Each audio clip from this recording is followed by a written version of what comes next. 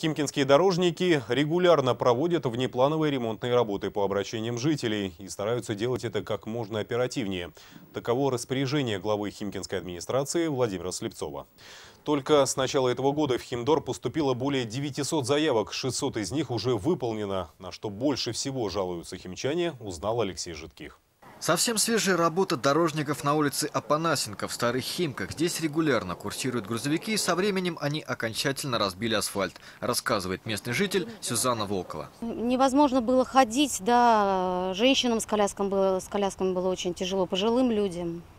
А машины, ну, разбитые подвески, дырявые колеса. Квартиросъемщики написали коллективное письмо в Химдор, и вот результат. Отремонтированы два самых проблемных участка дороги, из-за которых невозможен был комфортный въезд и выезд на территорию жилого комплекса. Дорогу нам сделали, мы очень благодарны за это, да, что наконец у нас есть дорога.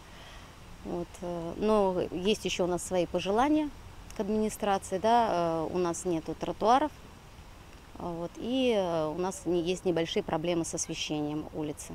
Тротуары внесены в план работ на 16 год.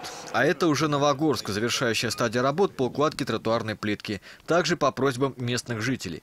Химчане обращаются по телефону и на сайт, в твиттер предприятия через администрацию и ЖКУ. Сотрудники Химдора стараются латать дыры как можно скорее. В следующем году объем внеплановых работ по обращениям граждан будет еще больше. Благодарственные письма жителей – яркое свидетельство тому, что мы работаем с ними в плотном контакте.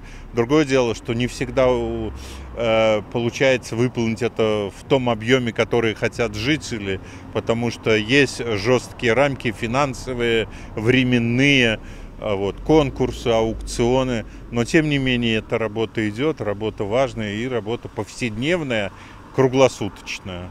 План дорожных работ следующего года, как и текущего, будет составлен с учетом пожеланий и обращений химчан. Алексей Житких, Алексей Козеров, Служба новостей.